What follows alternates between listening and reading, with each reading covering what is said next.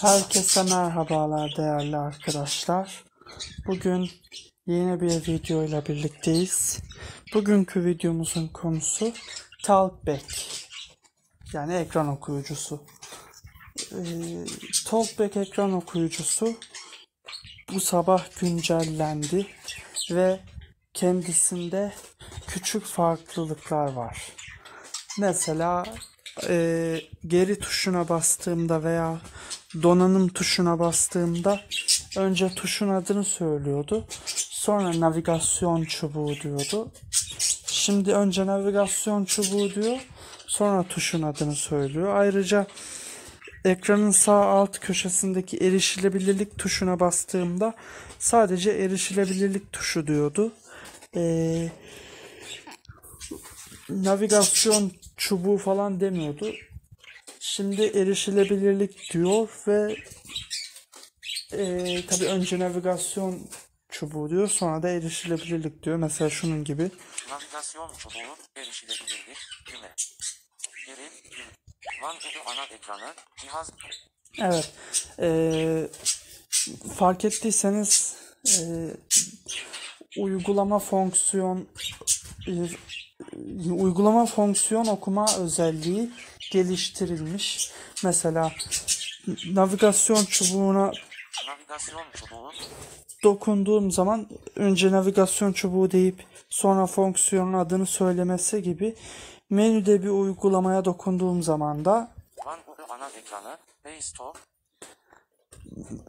önce One UI ana ekranı diyor sonra Play Store diyor. Ee, daha başka ne gibi değişiklikler var? Bakalım. ana ekran, sayfa 1.1, var, sayfa 1.2.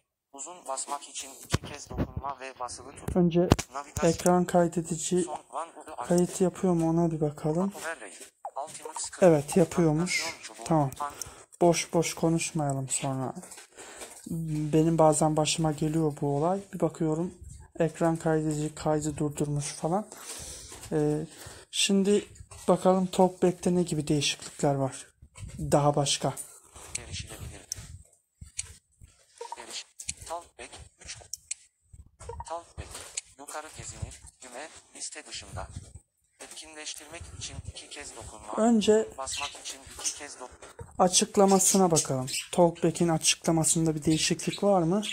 Onu bir görelim. Cihazınızı ekrana bakmadan kullanabilmeniz için sözlü geri bildirim sağlar. Talkback, ekranı görmenin zor olduğu durumlar veya ekranı görmekte zorluk yaşayan kişiler için tasarlanmıştır. Talkback'in kullanımı öğeler arasında hareket etmek için sağa veya sola kaydırın, bir öğeyi etkinleştirmek için iki kez dokunun, kaydırmak için iki parmağınızı sürükleyin. Talkback nasıl kapatılır? Ses seviyesi tuşları, ses seviyesi tuşlarının ikisini birden birkaç saniyeliğine basılı tutun. Ayarlar, Talkback'i kullan anahtarına dokunun. Yeşil dış çizgi görürsünüz. Anahtara iki kez dokunun, onay mesajında durdura dokunun. Ardından durdura iki kez dokunun, 4-4, listede 4 öğe. Evet açıklamasında bir değişiklik yok.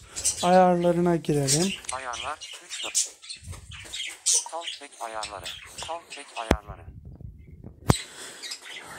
Talkback'teki yeni özellikler 1.14 ses, başlık, metin okuma ayarları, ayrıntı düzeyi, şifreleri sesli olarak oku, ayrıntı Ayrıntı düzeyine bir bakalım. Hazır ayar, ayrıntı, kullanım input.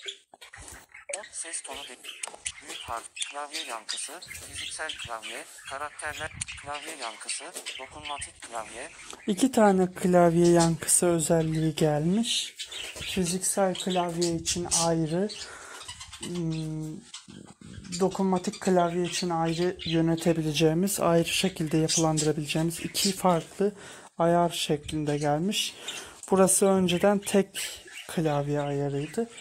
Bunu ayrı ayrı yapılandıramıyorduk. Nasıl yapılandırırsak fiziksel klavye içinde, dokunmatik klavye içinde aynısı oluyordu. Geçelim. navigasyon çubuğu, geri, düğme, Galaxy Store'da Talkback'i aç, gelişmiş ayarlar, eğitim ve yardım, 12-14. Eğitici ve yardım menüsü değiştirilmiş. Eğitim ve yardım olarak isimlendirilmiş. Eğitim ve yardım. Eğitim ve yardım. Burada iki seçenek vardı. Ee, üç seçenek olmuş yani üçüncü bir seçenek daha eklemişler.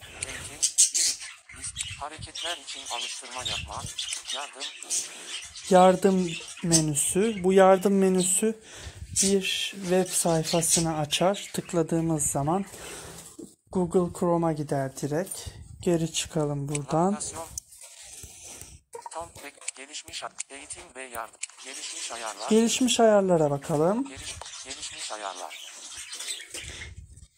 Denetimler, başlık, 1.11, listede 11 öğe. Odak göstergesi, 2.11. Etkin, özel etiketler, Burası aynı. Etkinleştirmek için bir kez dokunun. Etkinleştirmek için odaklanılan öğeye bir kez dokunun. Geçişli düğme, anahtar, kullanımda değil, 411.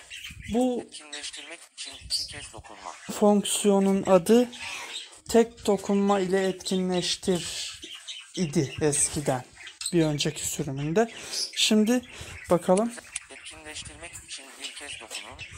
Başlığıyla birlikte açıklamasının bir kısmı da aynı olmuş. Etkinleştirmek için bir kez dokunun şeklinde adlandırılmış. Etkinleştirmek için bir kez dokunun. Öğe açıklaması sırası, ad, tür, durum, 511. Evet. Öğe açıklama, Burası aynı. yazma ve klavye, başlık, 611. Böyle bir başlık da yoktu. Bu başlık 11 öğeden 2 ile 11 arasında yeni gelmiş. Dokunma yazma, geçişli anahtar, kullanımda değil, 711. Etkinleştirmek için iki kez dokunma. Tek dokunma ile yazma. Bu ne TalkBack ayarlarında ne de erişilebilirlik ayarlarında yoktu. Samsung klavye ayarlarında da yoktu. Gerçi ben tek dokunma ile yazma kullanmıyorum. Çift dokunarak yazıyorum ama tek dokunma ile yazma kullanmak isteyen arkadaşlar için yararlı olur. Bu ayar böyle bir seçenek gelmiş. Yani bu nedir? Ee, sanki ekran okuyucusu kapalıymış gibi klavyedeki tuşlara dokunup tuşlardan parmağınızı kaldırdığınız zaman çift dokunmanıza gerek kalmadan tek dokunuşla yazı yazmanıza olanak sağlayan bir seçenek. Bunu açmak klavyedeki ekran okuyucu kontrollerini e, yok sayar.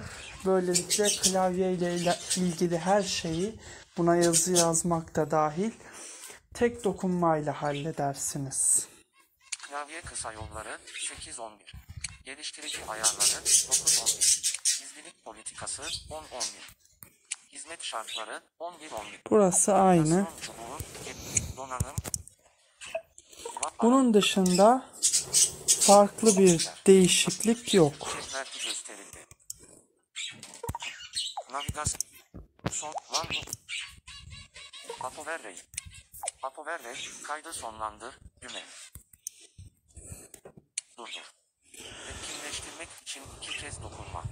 Böylece TalkBack ekran okuyucusuna küçük yenilikler eklenmiş. Bence faydalı olmuş. Ee, bugünkü içeriğimiz de bu kadardı arkadaşlar. Her şeyin gönlünüzce olmasını dilerim. Bir sonraki içerikte görüşmek dileğiyle.